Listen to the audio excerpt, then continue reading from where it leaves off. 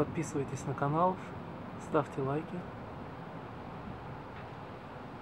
7 июля 2020 года. Левобережный район Москвы.